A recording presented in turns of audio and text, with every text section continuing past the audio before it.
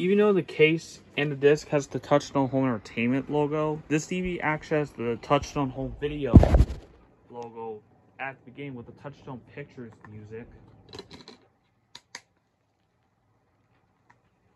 So it's probably uh, a 2002 DVD, I believe.